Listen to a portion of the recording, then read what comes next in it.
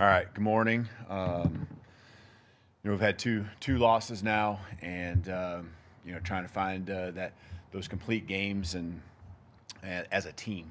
And uh, you know, there's been uh, a, times throughout the season where we've uh, played very complementary. Uh, it might be you know takeaways and and scoring. Uh, it might be you know one one team needs a little pick me up, the other comes through. Um, but you know when the losses happen, um, those things get amplified. You know you're you certainly uh, really look into that more. We got to play play better as a team. Um, you know it's what great teams do, and so we haven't been our best. Uh, in those two games in particular, and I know there's other times we can always look and know we got to improve, but um, can't have the mistakes, can't have the penalties. You know, got to have better execution. You know, all those things that put you behind the eight ball. You know, throughout the course of the game. And here in the SEC, you know, there's such a fine line, obviously, between winning and losing. You know, and that's how you get beat. And so, you know, that's on all of us. Um, it starts with me just uh, continuing to set the standard. Um, you know, that will lead to high performance. And uh, I know that uh, it just comes down to competing competing, um, being solution oriented uh, every day. You know, bringing everything you have to the football team. I'm confident in uh, a group of guys that uh, want to be great. There's no doubt about it. I can see in their response each and every day, um, just showing up to work, and so um, you know I have no doubt that that's going to continue to happen. Um, you know, we know that just being a championship football team is is hard. Uh, we all signed up for it. We all want to want to continue to improve our awareness, uh, you know, our intensity. Um, and that's not just intensity on the football field and all that. That's just everything we do. We know it takes everything we got, and uh, you know that's what we signed up for. So, um, just you know, I think the biggest thing is the message has been over the weeks, not just this week or not just after Vanderbilt, but the weeks, you know, all season long. The message is always going to be: there's never going to be excuses. That's one thing that you know, only softens character. It uh, it lowers the standard, and that will never happen. And so, um, again, talk about being solution oriented. Continue about moving forward. You know, making sure you got the right people here, and I firmly believe that we have a lot of great people with a lot of great skill sets, whether it's uh, players, staff, um, and that they're all working together. And so, uh, really, you know, know that that's going to be the case. Um, you know, kind of moving on to a couple other things. Uh, just with injuries, you know, I'll give you an update. Um, I know with Keon, Keon Sabb, um, he does have a lower uh, extremity injury. You know, we're still gathering information here, but uh, we do expect him to be down for a while. You know, and so, you know, that uh, could be an extended amount of time, and we'll just continue to, to evaluate that. I'll, I know there's a lot of, I think, one position group in particular, just kind of put them all together uh, the all the other DBs. I think you know just look to see how they progress throughout the week. Uh, a lot of similarities between uh, just kind of the level of the injuries that they all have. You know, and I, right now uh, I'd be expecting them all to be able to play uh, on Saturday. So um, be ready to go. Uh, when it comes to Missouri, just Coach Drinkwitz, especially over the last two years, but I know it takes time for him to build to this, has done a great job. Uh, you know, great football coach. Uh, just as far as how he's developing guys and um, you know bringing the right people into his program. Um, got some transfers that have added to, you know, uh, a, a, solid group of returning starters. Uh, 17 and three over the last two years. Um, just a resilient group. Won some close games, and so uh, we got a you know another great task at hand uh, as they're all going to always going to be in the SEC, and uh, you know our guys are looking forward to the challenge. I can I know this week's gonna be, you know, one where we get back to work and uh, want to bring a homecoming win home, uh, back home for all our fans, all our alumni. Thank you, Coach. Let's start with uh, Charlie Potter here in the right. Yeah, Coach, just with Jalen, uh, is he dealing with anything from an injury standpoint, maybe banged up a little bit? And if not, what do you do to kind of build his confidence up after the last two weeks? Sure. Yeah, I think at this point in the year, um, I don't think there's I don't think there's many guys that put a lot of that play a lot of snaps who don't have something you know, and just uh, working through it. But um, he's more than capable, uh, and you know, as he goes through the week, uh, you know, you're just uh, ready to play on Saturday. So there's nothing that's going to be holding him back from be going out there and being able to help us get a win. Um, confident of that. Stand right side, Kirk. Kirk, right there. Coach, I know the head coach is responsible for everything, but I wonder if there some coaches take exclusive uh, uh, responsibility for things like play calling, for instance, or substitutions or clock management. I wonder what sort of things you are, besides your veto power, anything that are exclusive to you. Yeah, I think all those things you mentioned are are part of uh, the the job responsibility and how I look at it, and uh, you know take all those things seriously. And so um, every element of the program, it's it's always uh, you know things that I'm going to discuss if it involves other people, which usually it does, uh, and go to those people. Uh, you know, making sure our coaching staff is always aligned on the same page, whether it is the play calling, whether it is the situational uh, piece um, off the field, recruiting efforts, uh, making sure everything's always aligned. And so, uh, you know, evaluating. Um, you know, I will tell I'll tell you this. A lot of times there's uh, situations that do come up that that really work out for you, and you know, you think about many times where, you know, in the past with different teams and and all of that, you know, maybe it's not the decision you would have made as far as that particular call, but there's a lot of good calls that you can make that all work. And so is what happens is you got to make sure that the guys are prepared, that they're confident, and then going out and execute uh, what it is that uh, that you've been working on. So, um, you know, I feel full confidence in in who we have, and my job is to continue to guide them, uh, give them, uh, you know, my perspective uh, be there in the moment in the games uh, to continue to make sure we're sticking to the plan that we, uh, you know, that we worked on, the plan that uh, was created, the ones that the guys have have practiced, and just making sure we're staying the course, you know, in that moment, and then also staying the course as we continue to develop our players over the course of the year, years, and their careers. Go to Chase Farlett. I wanted to ask you about the personal foul against Kendrick Law at the end of the game to set up the fourth and 22. What was your? I don't think you got asked about that on Saturday. What was your message to him after the game on that? Yeah, I mean, well, the message continues to be right with the team. It's not just one. It's, it's you know, we gotta we gotta learn from those moments. Those moments are big, and um, you know, our choices, our decisions, our words, our actions. I mean, all of those things. Um, you know, they have to be focused on what's best for our team.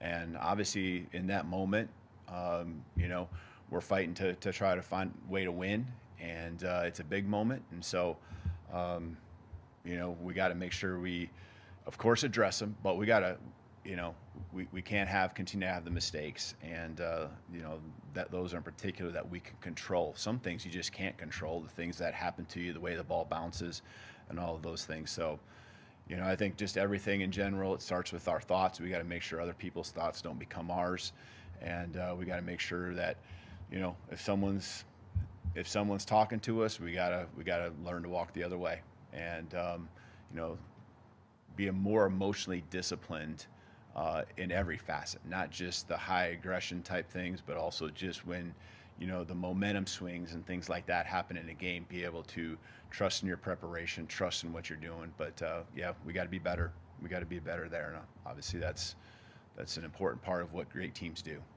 is uh, be great in those times Second row left, Tony. Obviously, if Keon's going to be out for any time, you're going to need Bray Hubbard to step up. Just what have you seen from him, and how much of his has he grown in, in this season? Yeah you know Bray's been working hard for this opportunity and um, you know, he, he, he worked, uh, he not just last week, but every week he's worked uh, to be ready. And uh, we had no doubt that he would be uh, come, come Saturday um, when he was called upon. And uh, he'll go out there again this week. And, and uh, you know, our team really believes in him. He, he does a lot of things on special teams, and you can see it every day in practice. And so, um, you know, he's been around the program, and now you know this is that time, that next up, you know, next, next man up mentality. You know, that's what we talk about and that's what it's got to be. And uh, you know, uh, I know again high level of want to that he has, uh, and you know, I'm excited for his opportunity. You know, I love Keon to death, and Keon's a he's a he's a warrior, man. I mean, there's there's more things I want to say about Keon and what uh, what he did to go out there and try to help our football team, um, but there's a you know next man up mentality and and I'm excited for you know the opportunity that Bray has in front of him.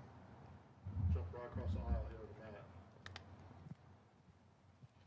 What needs to happen offensively to better capitalize on some of those defensive takeaways? Yeah, you know, sat, it's different, I think, each week, right? We talk about matchups and how they present themselves, but a lot of the things were just, um, you know, drive stalling because we were, we were, um, I don't want to say it's always shooting yourself in the foot, but we weren't executing or something would do, it would happen. Uh, and a lot of times it was, right? False starts or whatever it might be. Um, we just wasted plays and got ourselves behind the chains, weren't able to have our full offense available on every play.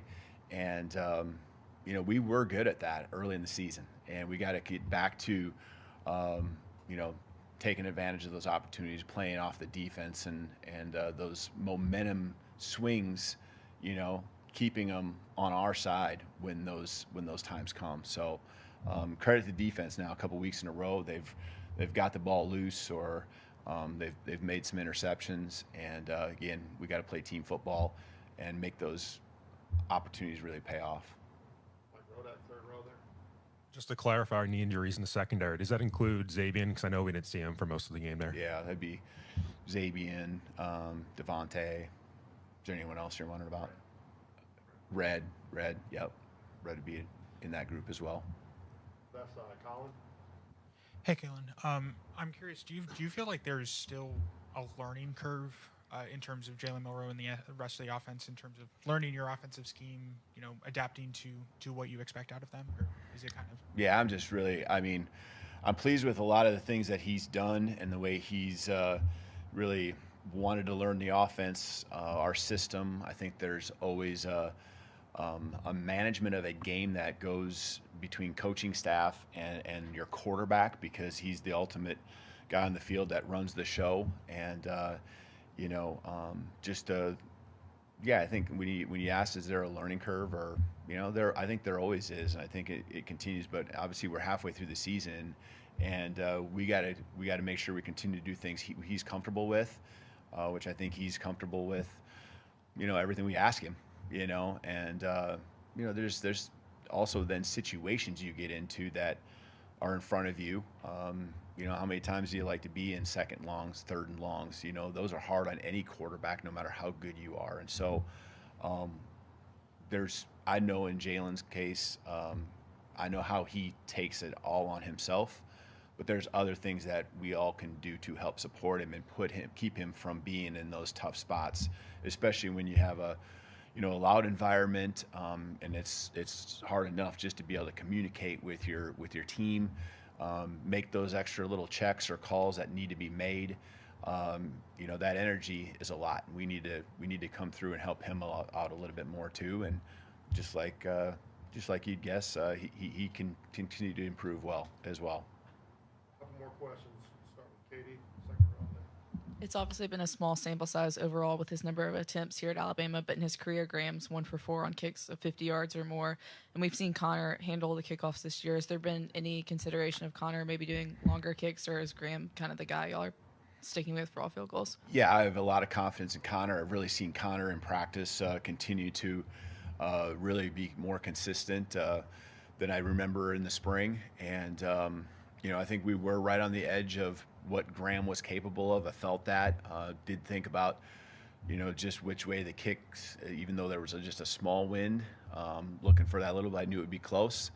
Um, you know, you go with your gut on those things, and uh, um, you know, obviously it came up just short, but I felt like he was on point. I felt like he good, put a good solid uh, swing on it, and uh, you know, we got we got a lot of confidence in both of those guys. To be honest with you. Finish up, Jonathan, all the way in the back. Hey, Coach Kane was talking about in adverse times like this. He said you got to keep the main thing the main thing. Focus on this Missouri game. As you get later in the season, things like standings, rankings, that kind of thing creeps in and, and maybe becomes a conversation. How do you do that, and how do you keep the guys focused on just what's ahead this week? Yeah, I still feel like, you know, really, or my my experiences have been you, you. There's too much football left, um, and maybe the last week you try to give some perspective because there's so many things that can change between now and then. So that's really, you know, as Kane I guess said, with you know, that's really you know where our focus is at is uh, just on on this game. Want to know? I already heard in the locker room from our players. They understand the big picture is one thing. In order to make the big picture relevant, we have to take care of what's in front of us, and uh, we got to continue to, you know, build, do what championship teams do, build on uh, championship caliber teams do, build on your belief, uh, build on your, you know, just intensity in everything that uh, that you do, and um, and then just have some grit. You know, uh, I think if you look across uh, the championships that have been won in this program, uh, obviously I wasn't a part of them, but there's probably a lot of common things that I just mentioned that are that are, you know, right there. And I I, I firmly believe that this team is capable of that.